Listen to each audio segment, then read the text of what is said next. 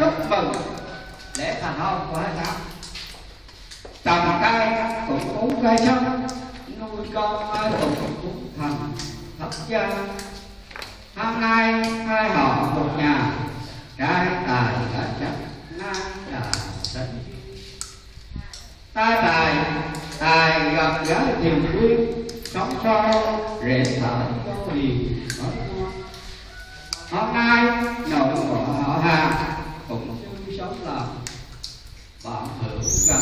trang nhất là họ gái chúng ta, mặc dù đã cách cũng có chúc mừng. Lẽ ra có một chúc mừng nhưng mà nhà nước cấm dùng chưa?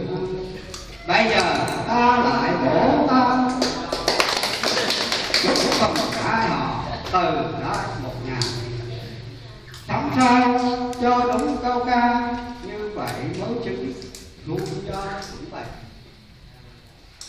giúp cho đôi bạn tương lai sai đài hạnh phúc vững bền tương lai muốn cho hạnh phúc lâu dài. Muốn cho hạnh phúc lâu dài. Mỗi khi nóng giận, cả hai đều bây giờ lại muốn chủ trương, kế hoạch đó thì bình thường, chỉ có hai không để lo dạy dỗ phúc đồng. Tấm con ngôi tiếng con